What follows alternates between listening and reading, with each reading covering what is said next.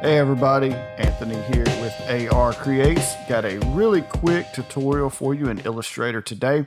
Going to show you how to stretch letters. Um, this is a really cool effect.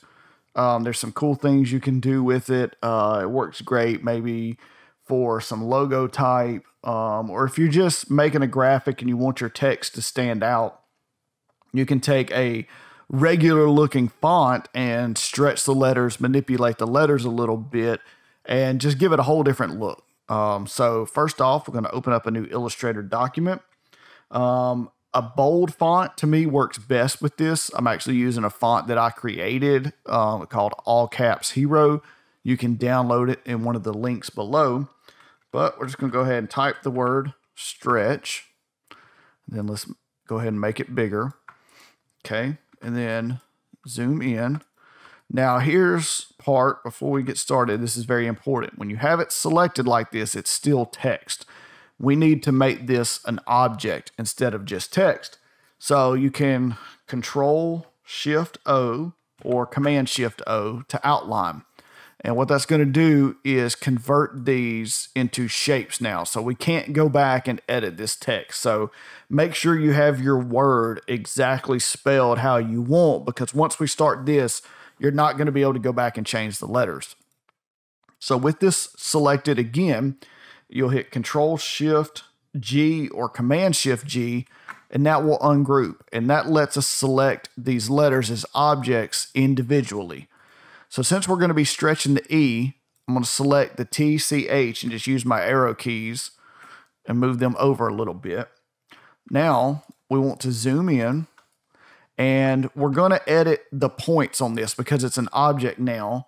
Um, but we're not going to use the regular selection tool. If you use your arrow selection tool, um, you know, you can stretch it like this, um, you know, but the proportions are going to get out of whack. It's not really the effect we're looking for. So if you will use your direct selection tool, which hotkey is A, um, and you highlight, you start seeing these little white squares that pop up, these anchor points. So that is what we're going to select. Now, we don't want to select all of them. We only want to select the parts we want to stretch, which is going to be these crossbars here.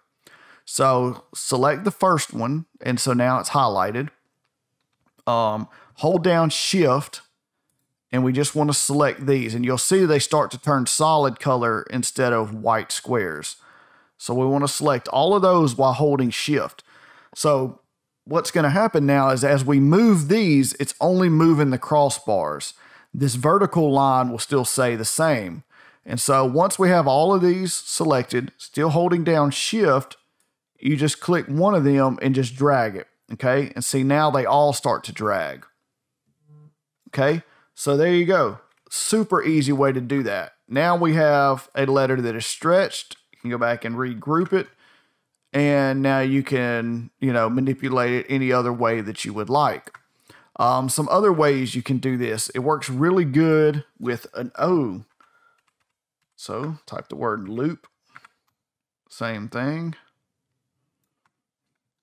Outline it. Ungroup it. Move these letters over here. And direct selection tool, find our first anchor so that we can see these other ones and just select the ones we want to move. And just drag it. And there you go. Super easy to do. Um, really cool thing. Um, you know, now you can also use this vertically. You know, if we want to select these points here that we want to move. Same thing. You know, we can do it that way. Uh, go ahead and select the ones down here. You know, we could raise it up like that. So there's all different kinds of things that you can do with that.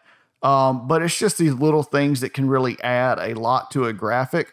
And the great thing is by doing it this way, you uh, maintain the uh, proportions and everything so that it all looks together, it all flows together real well uh, if you it's hard to do this kind of effect in Photoshop or something like that where you're not editing it as a vector. So that's why it's important to use Illustrator or some other type of vector editing program in this because now these are actually objects. They're not fonts, they're not glyphs.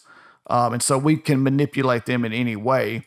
Uh, and while you're at it, just to show you, because it is a shape, um, see, you can edit the corners and all that kind of stuff as well. So if you're wanting to really manipulate your text, the best way to do that, put it into Illustrator, convert it to an object, and then now you have, um, you know, complete control over it. Uh, like one other thing is if you wanted to, you know, make this part thinner, you know, you can do that like these two. So really you can just manipulate it, you know, a lot of different ways.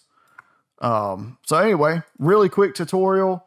Um, I know it's nothing like super groundbreaking, but you would be surprised that just by doing these little bit of manipulations on text, how much difference you can make in the way that a graphic looks. So anyway, uh, if you create something using this technique, tag me on Instagram at AR Creates. I would love to see what you do, and I will talk to you guys later. Thank you.